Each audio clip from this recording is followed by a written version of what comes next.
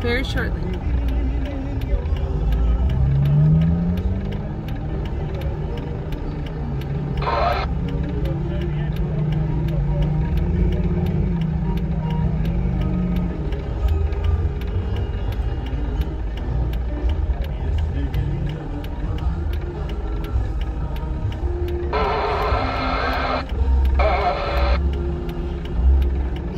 What's wrong?